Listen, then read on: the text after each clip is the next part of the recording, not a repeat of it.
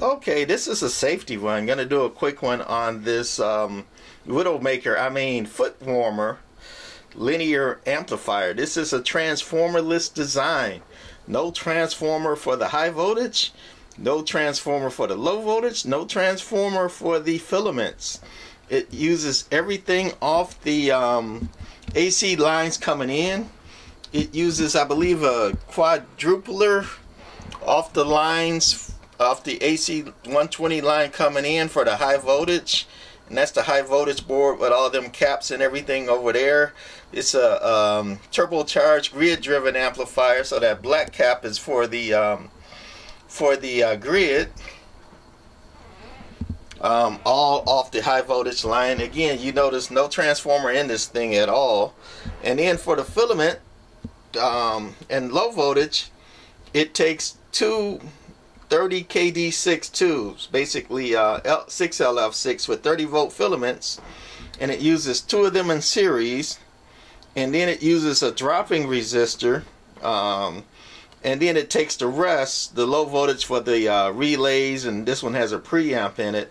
Um, is uh, the other side of that dropping resistor again off that 120 mains um, but the reason I made this video is I um, went through this thing, uh, recapped it, and then I fired it up, and the low voltage is not working. The uh, filaments aren't lighting up, um, but the high voltage was working. You know, I had it on, I variacted it up, I was looking at my watts, and when I had it up to full power, um, it was reading 10 watts, which is nothing. I'm like, good, no shorts and all that. I um, accidentally hit my uh, I had the height the meter connected you know from ground that white wire over here to the lead and to the multimeter and then to the high voltage coming at the tubes and I was going to measure the high voltage that goes through the red lead over to my meter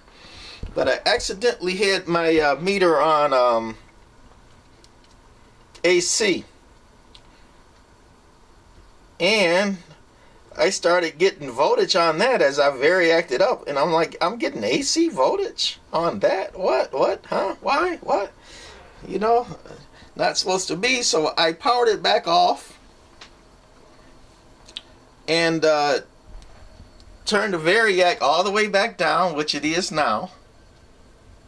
The variac is turned off, and the little switch box watts meter that goes to the variac. My AC comes in, goes to that switch box watt meter. That's off. Then to the variac, which is off. The variac is turned all the way off.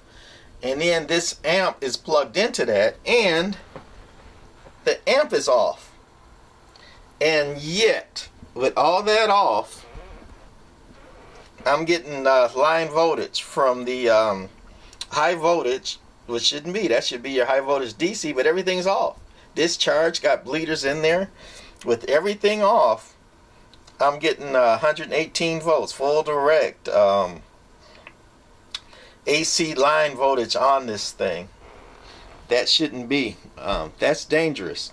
I would not expect that at all with, you know, off on the switch, off on the watt meter off on the variac, and then the variac turned all the way down to zero volts. That's crazy. But that's what can happen when you're dealing with uh, these type of amplifiers um, that take everything straight from the line voltage. You know, I get people tell me, "Oh man, Tram Doctor, you don't know what you're talking about. They work."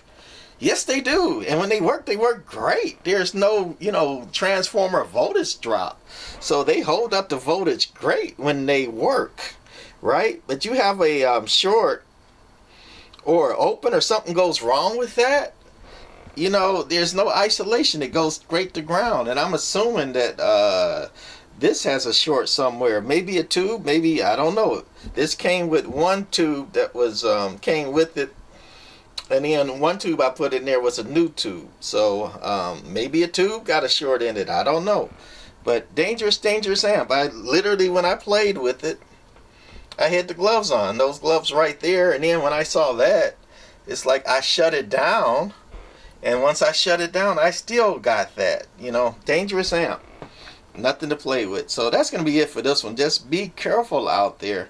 And they don't call this thing the Widowmaker. That's the nickname for these type of amps that are transformerless. Uh, something goes wrong, boom, you're dead. Um, there's a couple big boys that had uh, transformerless amps like this on you know much bigger amps than this and uh, they have died um, playing with these kind of amps something goes wrong you're dead all right that's it for this one bye